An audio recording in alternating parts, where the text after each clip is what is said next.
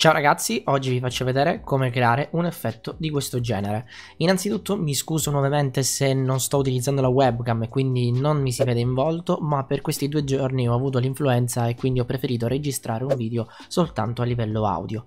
Oggi voglio farvi vedere appunto come creare un effetto di questo genere. Vogliamo creare un videogioco dove siamo dei cecchini, degli sniper e dobbiamo eliminare dei nemici in particolare? Bene, praticamente questo secondo me è l'effetto che potremmo utilizzare all'interno del nostro videogioco. Non inserito dei nemici e per farlo non è affatto facile, fatemi sapere se vi piacerebbe un domani vedere il continuo di questo videogioco. Per realizzare questo effetto dobbiamo avere in particolare uno sfondo. Io ho utilizzato un'immagine 1280x720 e ho praticamente creato due layer, layer background e layer scope, che sta a indicare appunto Merino, come state vedendo. Vi ricordo ragazzi che non entro nel dettaglio su come creare videogiochi perché in descrizione trovate appunto i corsi completamente gratuiti. Una volta che abbiamo appunto aggiunto il nostro sfondo nel layer background, background bisogna aggiungere il nostro mirino, in questo caso ho aggiunto proprio questo, e poi successivamente dobbiamo aggiungere l'oggetto Drawing Canvas. Ci basta semplicemente cliccare sullo sfondo e troviamo appunto l'oggetto Drawing Canvas, che in questo caso è questo qui, come state vedendo proprio in questo punto qui. Una volta che abbiamo fatto questo è molto semplice, per sfogare lo sfondo è importante, l'immagine di sfondo che dobbiamo inserire non deve essere sfogata, la sfogatura deve essere fatta all'interno di Construct. Come facciamo a fare questo? Clicchiamo all'interno del nostro layer che contiene il nostro sfondo e aggiungiamo due effetti, blur horizontal e blur vertical, ovvero sfocatura orizzontale e sfocatura verticale. Come si fa ad aggiungere un effetto? Clicchiamo su Effects, andiamo su aggiungi nuovo effetto e troviamo appunto blur horizontal e blur vertical. Io in questo caso ho lasciato i parametri standard 100% e 100%, ma potete anche giocare voi come meglio preferite. Ovviamente consiglio di mettere il tutto al 100%. Una volta fatto questo, come funziona il codice? Il codice è semplicissimo. Praticamente ho aggiunto l'oggetto mouse, in questo caso infatti io muovo il mirino proprio utilizzando il mouse e come sapete bisogna aggiungere l'oggetto mouse, quindi doppio clic all'interno di construct e aggiungiamo l'oggetto mouse che lo troviamo appunto su input, in questo caso l'ho già inserito e non me lo fa inserire. Successivamente cosa dobbiamo fare? Aggiungiamo un'azione mouse che va a eliminare il cursore. E successivamente con l'azione scopo quindi mirino andiamo a dirgli a Construct che la posizione del mirino deve essere mouse.x e mouse.y quindi come dobbiamo fare andiamo su scope andiamo su set position in questo caso e gli diciamo mouse.x e mouse.y in questo caso quello che succederà ovvero il tutto in every tick quello che succederà è che praticamente il nostro mirino verrà posizionato perfettamente dove? Dove è il nostro cursore, il nostro puntatore del mouse. Perfetto. Ho preferito fare questo episodio in questa maniera perché so che molti di voi ad esempio conoscono già bene Construct, per questo ci sono i corsi gratuiti in descrizione, consiglio di vedere quelli e per questo non ho preferito fare tutto step dopo step.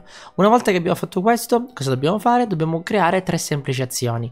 Dobbiamo dire che il drawing canvas si deve pulire, quindi andiamo su aggiungi azione, drawing canvas e facciamo clear canvas in questo caso. Successivamente gli diciamo che il drawing canvas deve essere perfettamente posizionato proprio sul nostro mouse, dove appunto è anche posizionato il nostro mirino, quindi drawing canvas, set position, mouse.x, mouse.y, importante, come state vedendo appunto qui sullo Z order, quello che sono andato a fare è posizionare il drawing canvas sotto lo sprite del mirino, come state vedendo, in questo modo.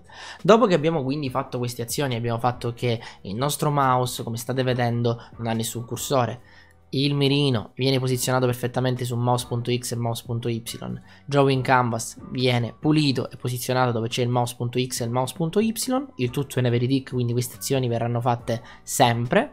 Subito dopo cosa dobbiamo fare? Dobbiamo dire al drawing canvas guardate qui, vado su aggiungi azione, drawing canvas, gli vado ad incollare quale oggetto? L'oggetto sfondo BG senza effetti, without effect. Quindi quello che succederà è che in quel quadretino, quindi in questo drawing canvas, in questo piccolo quadrato che sarà posizionato qui, verrà incollata l'immagine BG, quindi l'immagine di sfondo, ma il tutto in maniera originale, quindi senza sfocatura. E questo sarà il risultato finale.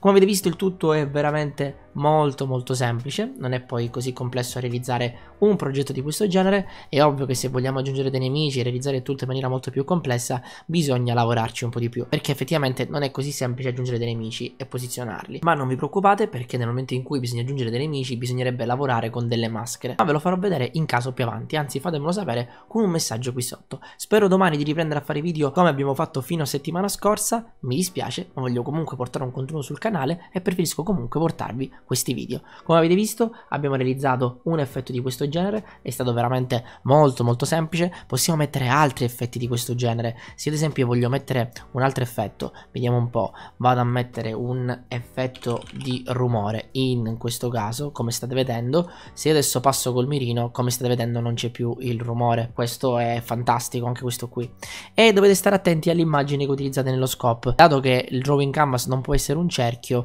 e lì bisogna un po' giocare perché quello che potrebbe succedere è che essendo che è posizionato in questo punto se io ad esempio allargo il drawing canvas guardate quello che succede. Avete visto? Il drawing canvas è più grande del nostro mirino e quindi c'è questo piccolo errore. Ma non vi preoccupate sono cose che si possono migliorare e vi farò vedere piano piano in questo canale. Ci vediamo domani con un nuovo video. Ciao